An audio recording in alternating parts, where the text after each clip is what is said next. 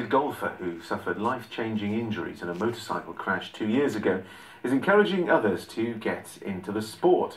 Mike Jones from Cwmbran turned to golf to help his recovery, and he's now the highest ranked British player in the European Disabled Golf Rankings.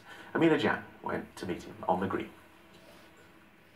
Swinging into success, Mike Jones is climbing the ranks of disabled golf and showing no signs of stopping.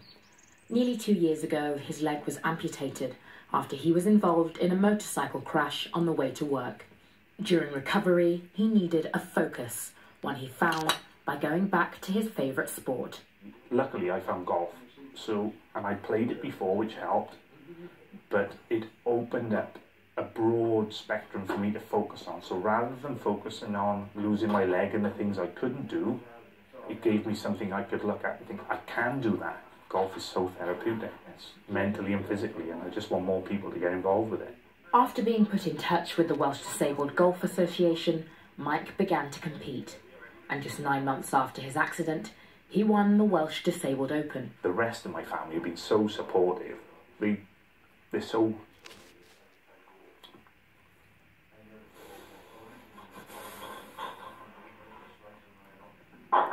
I feel they're so proud of me. It just makes me feel really good about myself. And that's difficult at times.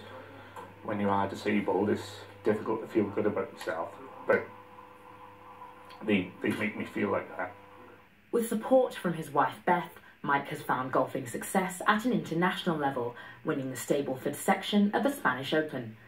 He's now ranked 12th in Europe and has his sights set on conquering more international events. Amina Jan, ITV News. Good to see.